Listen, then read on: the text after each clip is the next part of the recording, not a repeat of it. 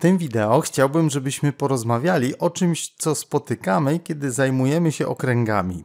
Narysujmy sobie okrąg o środku O. Zaznaczmy na tym okręgu kilka punktów. Powiedzmy, że na okręgu leży jakiś punkt A, punkt B i trzeci punkt C. I zaznaczmy na przykład taki kąt środkowy. Kąt środkowy to taki kąt, którego wierzchołek leży w środku okręgu. To jest kąt AOB. Powiedzmy, że jego miara zmierzona w stopniach wynosi 120. Wycinek okręgu, jak zapewne wiecie, nazywamy łukiem, albo dokładniej łukiem okręgu, bo wycinek np. elipsy albo dowolnej innej krzywej jest również łukiem. Jeżeli wytniemy z okręgu kawałek, przykład tę część pomiędzy punktami A i B, to otrzymamy łuk. Łuk okręgu jest ściśle powiązany z dwoma pojęciami, które czasami mogą się mylić. Pierwsze z nich to miara kąta opartego na łuku. Może być to na przykład miara łukowa kąta albo miara w stopniach. Miara łukowa różni się od miary w stopniach tylko jednostką. Natomiast drugie pojęcie to długość łuku. Miara kąta łuku i długość łuku to pojęcia ze sobą powiązane, ale zdecydowanie różne. Zastanówmy się, co każde z nich oznacza. Jaka jest miara kąta opartego na łuku AB? Łuk oznaczamy tak, skrajne punkty łuku A i B i znak łuku powyżej, a miarę kąta opartego na łuku AB możemy zapisać w taki sposób. To jest łuk AB, tak naprawdę są tutaj dwa łuki AB. Ten zaznaczony, ale łuk AB to też ten łuk, dłuższa część okręgu pomiędzy punktami A i B.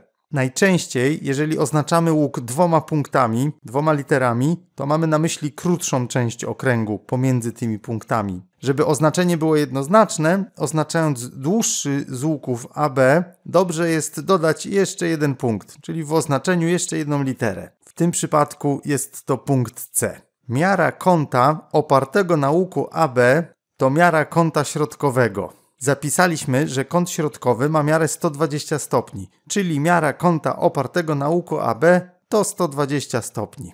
Jaka jest miara kąta opartego na łuku ACB, czyli na większym z łuków AB, czyli na tym?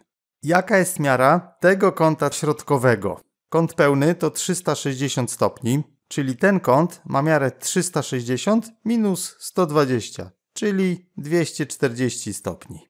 Miara kąta opartego na łuku to miara kąta środkowego, wyznaczonego przez ten łuk. Kąta środkowego opartego na tym łuku.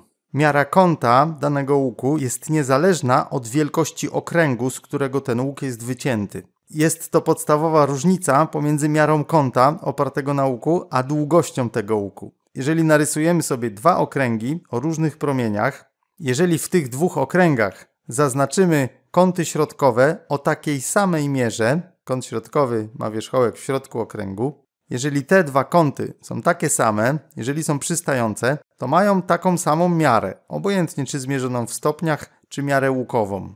Natomiast te dwa łuki, czyli części okręgu wycięte przez te dwa kąty, mają zdecydowanie różne długości. Długość łuku zależy nie tylko od miary kąta środkowego tego łuku, ale również od średnicy okręgu, z którego ten łuk został wycięty. Miara kąta opartego na łuku, miara łukowa albo w stopniach, albo w jakichkolwiek innych jednostkach, jest niezależna od promienia okręgu, z którego kąt środkowy wycina ten łuk.